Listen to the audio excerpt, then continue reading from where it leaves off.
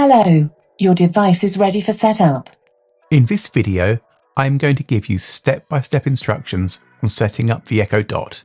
The first thing you need to do is go to the App Store and download the Alexa app.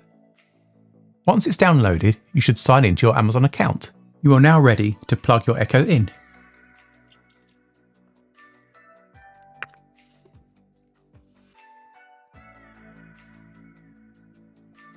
Hello, your device is ready for setup.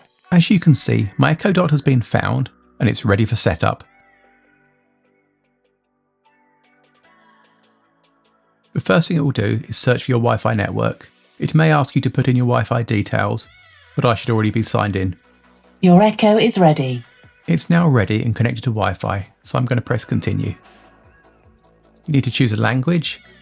I'm English United Kingdom. It will then ask you for your address.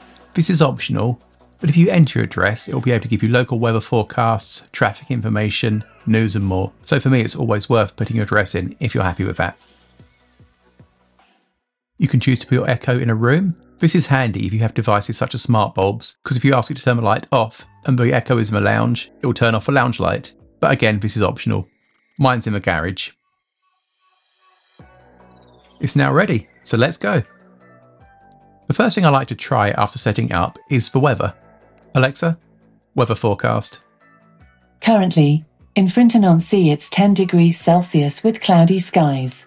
Tonight, you can expect showers, with a low of 8 degrees. If you have any smart home devices, you'll also want to set them up. To do this, go to More, select Skills and Games, and search for the device. So for example, I've got Philips Hue light bulbs. So I'll search for Hue.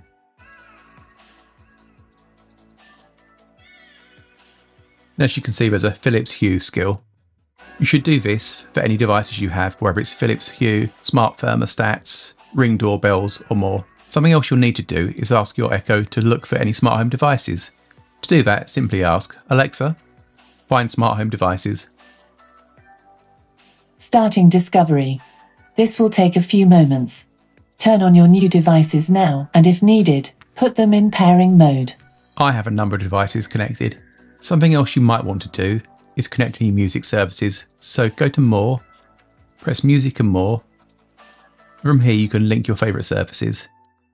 So it could be Amazon Music, Apple Music, Spotify, or whatever you use. I hope you found this video helpful.